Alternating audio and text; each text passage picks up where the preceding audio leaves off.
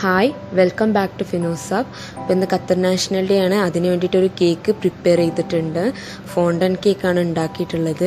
അപ്പോൾ അതെങ്ങനെ നമുക്ക് ഉണ്ടാക്കാമെന്ന് നോക്കാം. അപ്പോൾ ഞാൻ അതിന് വേണ്ടിയിട്ട് ആദ്യം ഫോണ്ടന്റ് തയ്യാറാക്കാൻ പോവുകയാണ് ഇവിടെ ഇത് മാഷ്മെല്ലോ മെൽറ്റ് ചെയ്തതാണ്. നിങ്ങൾക്ക് കടകളിൽ മാഷ്മെല്ലോ വാങ്ങിച്ചിട്ട് ഒരു രണ്ട് മൂന്ന് ടീസ്പൂൺ വെള്ളം ഒഴിച്ചിട്ട് ഒന്ന് മൈക്രോവേവ് ചെയ്യുകയോ അല്ലെങ്കിൽ ഡബിൾ ബോയിൽ ചെയ്യുകയോ ചെയ്യാം.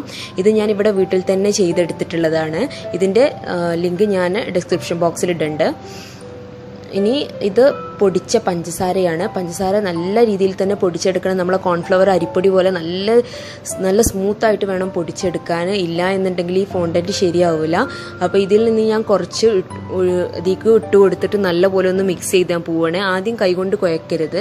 നമ്മളെ കയ്യിൽ സ്റ്റിക്കായിക്കൊണ്ടിരിക്കും സ്പൂൺ കൊണ്ടോ അല്ലെങ്കിൽ സ്പാച്ചില കൊണ്ടോ നല്ലപോലെ ഒന്ന് മിക്സ് ചെയ്ത് കൊടുക്കുക. അപ്പോൾ കുറച്ച് കൂടുതൽ പൊടിച്ച് വെക്കുക നമുക്കിതിൽ എത്ര വേണ്ടി വരിക എന്ന് പറയാൻ പറ്റില്ല. ഇപ്പോൾ നല്ലോണം ഇതാക്കി കഴിഞ്ഞതിന് ശേഷം നമുക്ക് കൈകൊണ്ട് തൊടാൻ പറ്റും എന്നുള്ള തോന്നുന്നൊരു പരിവാകുമ്പോൾ നമുക്ക് കൈകൊണ്ടൊന്ന് കുഴച്ച് കൊടുക്കാം. ബാക്കിയുള്ള പൊടികൾ കൂടി ചേർത്തിട്ട് നല്ലപോലെ ഒന്ന് കുഴച്ച് കൊടുക്കാം.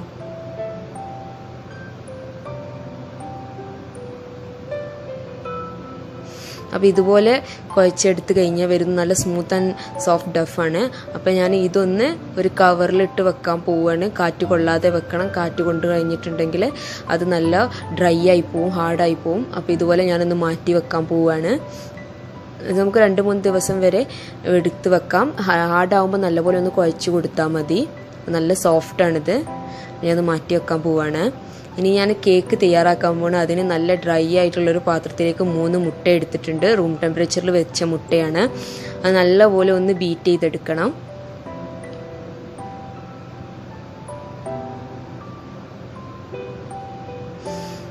ഇനി ഇതിലേക്ക് ഒരു നുള്ള ഉപ്പ് ചേർത്ത് കൊടുക്കാം. ഇനി ഒന്നുകൂടി നല്ലപോലെ ഒന്ന് ബീറ്റ് ചെയ്ത് കൊടുക്കുക ഇനി അതിലേക്ക് മുക്കാൽ കപ്പ് പഞ്ചസാര ചേർത്ത് കൊടുക്കുക കുറേശ്ശെയായിട്ട് ചേർത്ത് കൊടുത്തിട്ട് നല്ലപോലെ ബീറ്റ് ചെയ്ത് അഞ്ച് മിനിറ്റ് നല്ല ഹൈ സ്പീഡിലിട്ട് കണ്ടിന്യൂസ് ആയിട്ട് ബീറ്റ് ചെയ്യണം. അപ്പോൾ ഇത് നല്ലൊരു തിക്ക് കൺസിസ്റ്റൻസി ആവുന്നത് വരെ നല്ലപോലെ ഒന്ന് ബീറ്റ് ചെയ്ത് കൊടുക്കാം.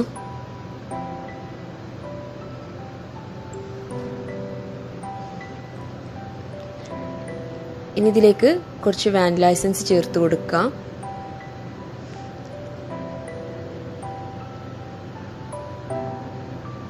വീണ്ടും നല്ലപോലെ തന്നെ ഒന്ന് ബീറ്റ് ചെയ്ത് കൊടുക്കുക. ഇപ്പം കളർ ചെറുതായിട്ട് മാറി വരുന്നുണ്ട്. ഇതാ യെല്ലോ കളറൊക്കെ പോയിട്ട് നല്ല വൈറ്റ് കളർ വൈറ്റ് കളറായിട്ട് വരും. ഏകദേശം വൈറ്റ് കളറായി തുടങ്ങുന്നുണ്ട്. നല്ല തിക്കായി വരണം.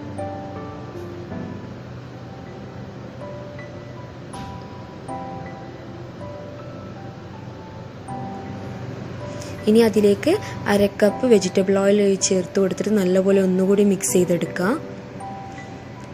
ഇനി ഇതിലേക്ക് ഡ്രൈ ഇൻഗ്രീഡിയൻസ് ചേർക്കുകയാണ്. അതിന് വേണ്ടിയിട്ട് ഞാനിവിടെ അരിപ്പ് എടുത്തിട്ടുണ്ട്. അതിലേക്ക് ഒരു കപ്പ് മൈദ ചേർത്ത് കൊടുക്കുക.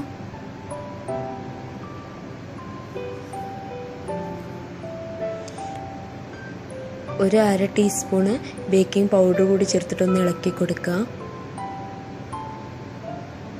ഇത് കുറേശ്ശെയായിട്ട് ഇതിലേക്ക് ഇട്ടിട്ട് നല്ലപോലെ ഒന്ന് മിക്സ് ചെയ്ത് കൊടുക്കുക. ഓവറായിട്ട് മിക്സ് ചെയ്ത് ഒരു സ്പൂൺ കൊണ്ടോ ഒരു സ്പെറ്റൽ കൊണ്ടോ നല്ലപോലെ ഒന്ന് ഇളക്കി കൊടുക്കുക.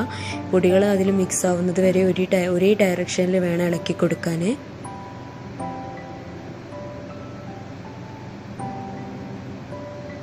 ഇങ്ങനെ മുഴുവനും നമുക്ക് ചെയ്തെടുക്കാം.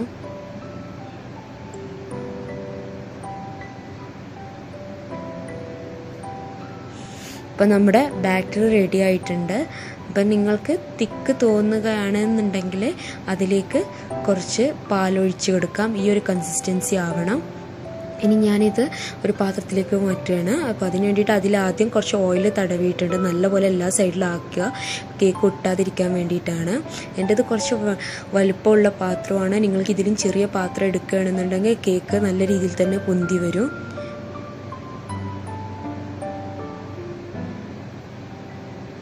അപ്പോൾ ബാറ്റർ മുഴുവൻ അതിലേക്ക് ആക്കിയതിന് ശേഷം ഒന്ന് തട്ടിക്കൊടുക്കുക. എയർ ബബിൾസ് ഉണ്ടെന്നുണ്ടെങ്കിൽ പോവാൻ വേണ്ടിയിട്ടാണ്. അപ്പോൾ ഇത് വൺ എയ്റ്റി ഡിഗ്രിയിൽ ഒരു തേർട്ടി മിനിറ്റ്സ് ഓവനിൽ വെക്കണം. അപ്പം നമുക്ക് ഇതൊന്ന് ഓവനിൽ വെക്കാം. ഇനി ഇതേ ടൈമിൽ നമ്മൾ വിപ്പിംഗ് ക്രീം വീട്ടിൽ തന്നെ തയ്യാറാക്കാൻ പോവാണ്. അതിന് രണ്ട് മുട്ടയുടെ വെള്ള ഒരു ഡ്രൈ ആയ പാത്രത്തിലേക്ക് എടുത്തിട്ടുണ്ട്. അതിലേക്ക് അരക്കപ്പ് പഞ്ചസാര ചേർത്ത് കൊടുക്കുക ഇനി ഒരു രണ്ട് ടേബിൾ സ്പൂണ് വെള്ളം ഒഴിച്ചു കൊടുക്കുക. നോർമൽ റൂം ടെമ്പറേച്ചറിലുള്ള വെള്ളമാണ്. ഇനി ഒരു മൂന്ന് ടേബിൾ സ്പൂണ് കോൺ സിറപ്പ് ചേർത്ത് കൊടുക്കുക. ഇത് നമുക്ക് വീട്ടിൽ തന്നെ ഈസി ആയിട്ട് തയ്യാറാക്കാൻ പറ്റും.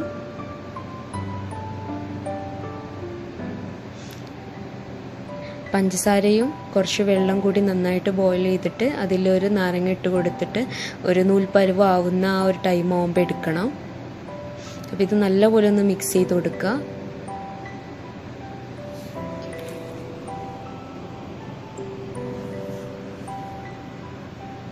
ഇനി ഇതിലേക്ക് ഒരു രണ്ട് മൂന്ന് തുള്ളി നാരങ്ങ നീര് ഇട്ടിച്ചു കൊടുക്കുക.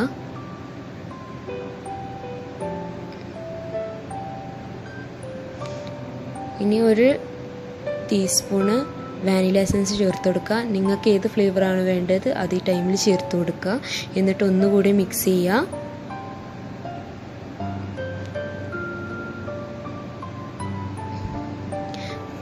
ഞാൻ അടുപ്പത്തൊരു പാത്രം വെച്ചിട്ട് അതിൽ വെള്ളം തിളപ്പിച്ചിട്ടുണ്ട്. നല്ല ചൂടായ വെള്ളമാണ്. ഞാൻ അതിന്റെ മുകളിലോട്ട് ഇത് വെച്ച് കൊടുക്കുകയാണ് ഈ വെള്ളത്തിൽ ഇത് തട്ടാൻ പാടില്ല. ആവി മാത്രം അതിൽ കൊള്ളാൻ പാടുള്ളൂ. അതിനുശേഷം തീയൊന്ന് കുറച്ച് വെച്ച് കൊടുക്കുക ഇനി ഇത് നല്ലപോലെ ഒന്ന് ബീറ്റ് ചെയ്യണം. ഇതിന്റെ കളറൊന്ന് ചേഞ്ച് ആവുന്നത് വരെ ബീറ്റ് ചെയ്യാം. അപ്പോൾ നമുക്ക് ഇതുപോലെ വിപ്പിംഗ് ക്രീം വീട്ടിൽ തന്നെ തയ്യാറാക്കി എടുക്കാൻ പറ്റും ഈസി ആയിട്ട്. ഇത് മുട്ടയുടെ ടേസ്റ്റ് ഒന്നും ഉണ്ടാകത്തില്ല വാനില എസൻസ് ഒക്കെ കൂടി ചേർത്തതുകൊണ്ട് ഇതൊരു വാനില ഐസ്ക്രീമിന്റെ ആ ഒരു ഫ്ലേവർ വരും. അതുപോലെ നല്ല തിക്കായിട്ട് തന്നെ നമുക്ക് ഈസി ആയിട്ട് വീട്ടിൽ ഇത് തയ്യാറാക്കി എടുക്കാൻ പറ്റും. കടകളിലൊന്നും പോയി വാങ്ങിക്കേണ്ട ഇനി വിപ്പിംഗ് ക്രീം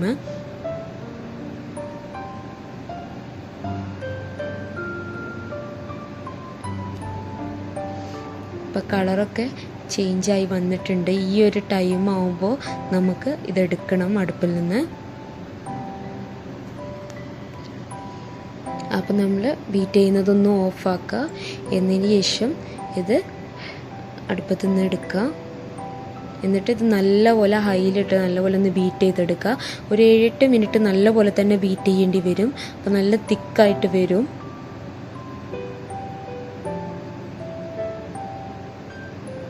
കണ്ടിന്യൂസ് ആയിട്ട് ഹൈ സ്പീഡിലോട്ട് ബീറ്റ് ചെയ്യാം. അപ്പോൾ നല്ല തിക്കായി വരുന്നുണ്ട്.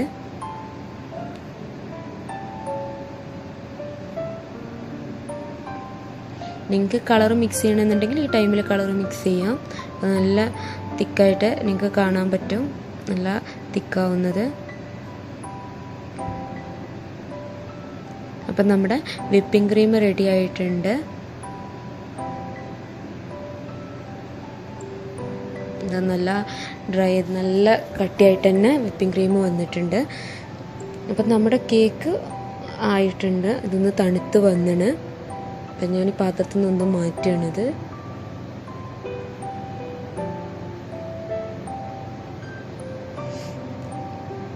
അപ്പം നല്ല സോഫ്റ്റിൽ കേക്ക് ആയിട്ടുണ്ട്. ഇനി നമുക്ക് ഇതൊന്ന് കട്ട് ചെയ്ത് കൊടുക്കാം. ഞാനിവിടെ രണ്ട് ലെയർ ആക്കാൻ പോവാണ്. അതിന് വേണ്ടിയിട്ട്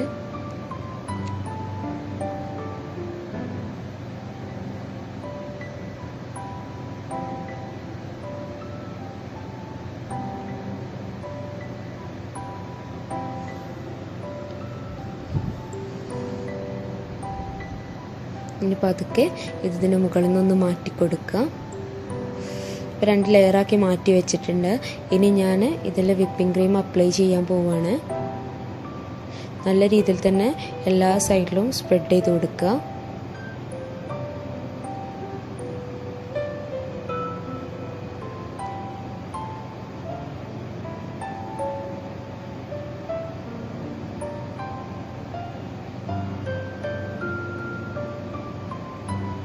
അപ്പോൾ നല്ല രീതിയിൽ തന്നെ സ്പ്രെഡ് ചെയ്തിട്ടുണ്ട്.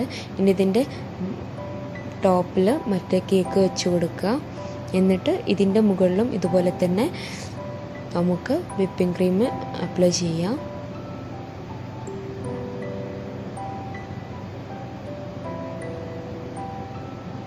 എല്ലാ ഭാഗത്തും നല്ല രീതിയിൽ തന്നെ ആക്കി കൊടുക്കുക. ഇവിടെ ഇതിന് തിക്ക് വേണമെന്നില്ല. പക്ഷേ ഒരേ ലെവലായിരിക്കണം കേക്കിന് അപ്പോൾ അതിന് വേണ്ടിയിട്ട് നമുക്ക് ലെവൽ കുറഞ്ഞ ഭാഗത്തൊക്കെ കൂടുതൽ വിപ്പിംഗ് ക്രീം ചേർത്ത് കൊടുത്തിട്ട് നല്ലപോലെ ഒന്ന് ചെയ്തെടുക്കണം. ഇപ്പോൾ ചെയ്തെടുക്കുമ്പോൾ ഇതൊരു പാത്രത്തിന്റെ മുകളിലോ അല്ല എന്നുണ്ടെങ്കിൽ നമ്മുടെ കേക്ക് സ്പിന്നറിന്റെ മുകളിലോ വെച്ചിട്ട് ചെയ്തെടുക്കാം. അപ്പോൾ നല്ലപോലെ വിപ്പിംഗ് ക്രീം അപ്ലൈ ചെയ്തിട്ടുണ്ട്. നല്ലപോലെ ലെവലാക്കി എടുക്കണം. ഇനി നമുക്ക് കേക്ക് ഒരു രണ്ട് മൂന്ന് മിനിറ്റ് ഒന്ന് ഫ്രിഡ്ജിൽ വെച്ചെടുക്കാം. അപ്പോൾ നമ്മുടെ ഇത് ഞാൻ രാവിലെ ഉണ്ടാക്കി വെച്ചതാണ്. അപ്പോൾ കുറച്ചൊന്ന് ഡ്രൈ ആയിട്ടുണ്ട്. അപ്പോൾ ഞാൻ ഇവിടെ കുറച്ച് പഞ്ചസാരന്റെ പൊടി ചേർത്ത് കൊടുത്തിട്ട് നല്ലപോലെ ഒന്നുകൂടി പരത്തിയെടുക്കാൻ പോവുകയാണിത് നല്ല കനം കുറച്ചിട്ട് പരത്തിയെടുക്കണം. നല്ല രീതിയിൽ തന്നെ പരത്തിയെടുത്തിട്ടുണ്ട്. ഇനി ഇത് കേക്കിന്റെ മുകളിലോട്ട് വെച്ച് കൊടുക്കാം.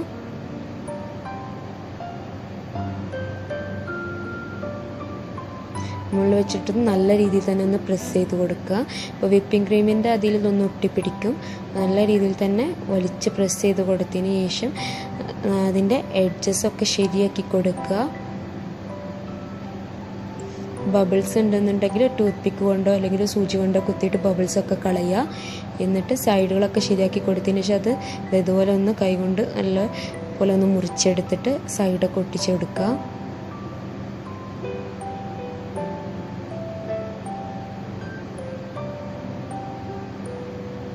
ഇപ്പം നമ്മുടെ ഫോണ്ടൻ മേലെ ചെയ്തിട്ടുണ്ട്. നല്ല ക്ലീനായിട്ട് വന്നിന്. ഇനി ഇതൊന്ന് ഡിസൈൻ ചെയ്യാൻ പോവുകയാണ് അതിന് വേണ്ടിയിട്ട് ഞാൻ ഫോണ്ടിൽ നിന്ന് കുറച്ച് മാറ്റി വെച്ചിരുന്നു. അതിലേക്ക് ഈ മെറൂൺ കളർ ചേർത്ത് കൊടുക്കുകയാണ്. ഈ കളറ് വാങ്ങിക്കാൻ കിട്ടിയിട്ടുണ്ടായിരുന്നില്ല. അപ്പം ഞാനിത് കളർ ഇവിടെ ഉണ്ടാക്കിയതാണ്.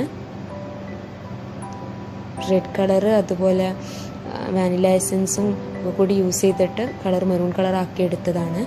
ഇത് നല്ലപോലെ പരത്തിയെടുക്കുക. ഇനി ഞാൻ ഇതിന്റെ ഇതൊന്ന് കട്ട് ചെയ്തെടുക്കാൻ പോവുകയാണ് അപ്പോൾ ഞാൻ ഇതിന്റെ മുകളിൽ ചെയ്യാൻ പോകുന്നത് കത്തന്റെ പേൾ കത്തുള്ള സ്കൈ ലൈൻ വ്യൂ ആണ്. അപ്പോൾ അത് ഇതിലൊന്ന് വരച്ചെടുത്തിട്ട് കത്തി കൊണ്ടൊന്ന് കട്ട് ചെയ്തെടുക്കാം.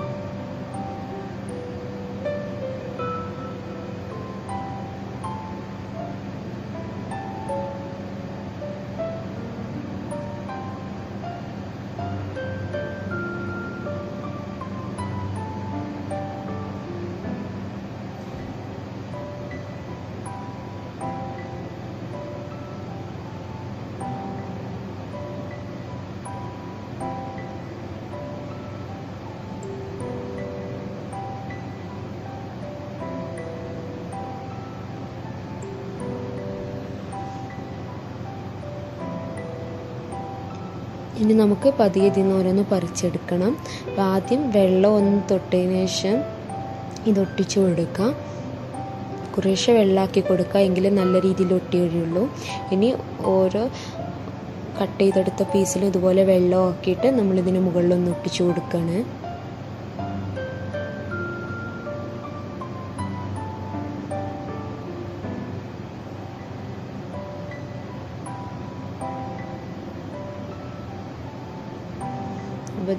ടോപ്പിലായിട്ട് ഓരോന്ന് ഒട്ടിച്ചു കൊടുക്കാം അപ്പം നിങ്ങളെല്ലാവരും ഇതൊന്ന് വീട്ടിൽ ട്രൈ ചെയ്ത് നോക്കണം. ഫോണ്ടന്റ് ഇനി കടകളിലൊന്നും വാങ്ങിക്കേണ്ട.